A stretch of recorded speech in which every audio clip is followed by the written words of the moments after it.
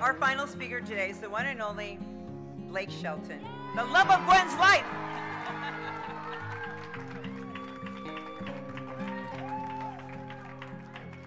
The first time that I ever met Gwen was in 2014. She wasn't like any other famous person that I had ever met before. She drove herself to work in a black minivan with car seats in it.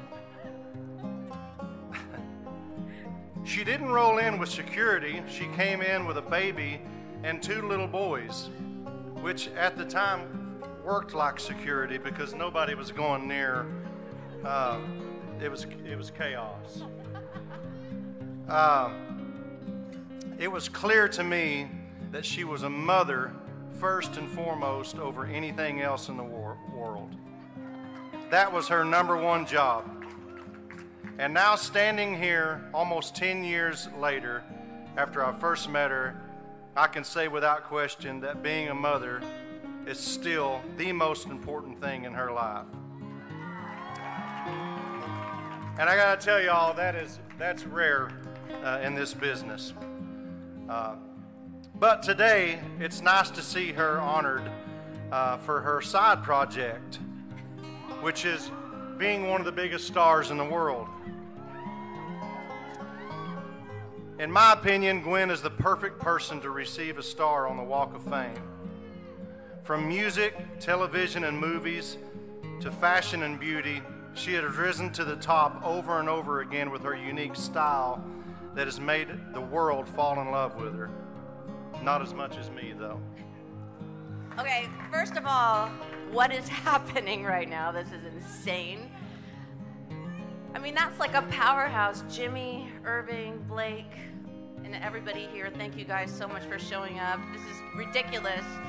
Never, never in my wildest dreams did I ever think that this girl right here from Orange County uh, would have a star on the Hollywood Walk of Fame. That just doesn't make sense to me. But um, Jimmy, what are we doing? How did you know?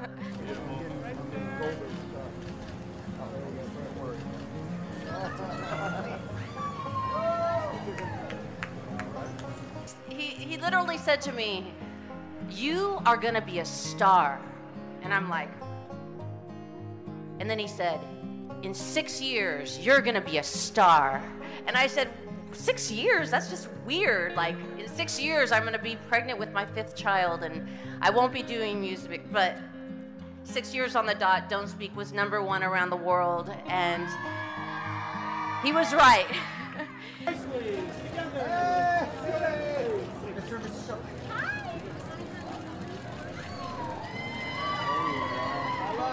And one last one right here. And if I didn't have the voice and I didn't have Irving, I wouldn't have met my best friend, my husband, Blake Shelton. I love you so much. You have given me the kind of love I never knew before. The minute I met you, I knew I was home, and I'm so, so proud that you're mine. I can't believe it. I love you so much. Hey, there he It's like a, is. it's like a Photoshop. One right here. and, in the middle. and last one right here.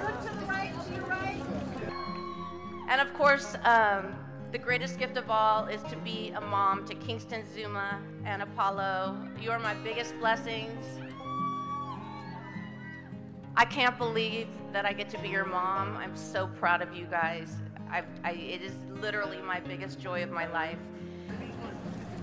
Bend those eyes to the right, please. Hey, Gwen, right to your left. Gwen, right here. Corner, please, Gwen.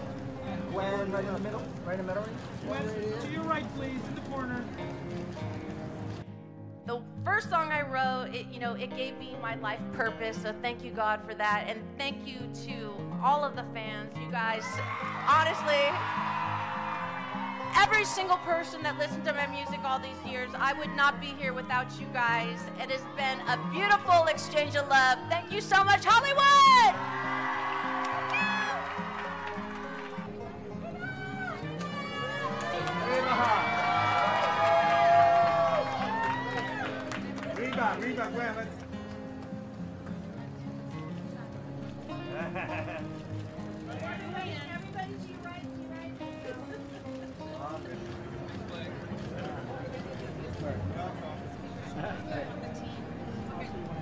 Jelajahi cara baru mendapatkan informasi. Download Metro TV Extend sekarang.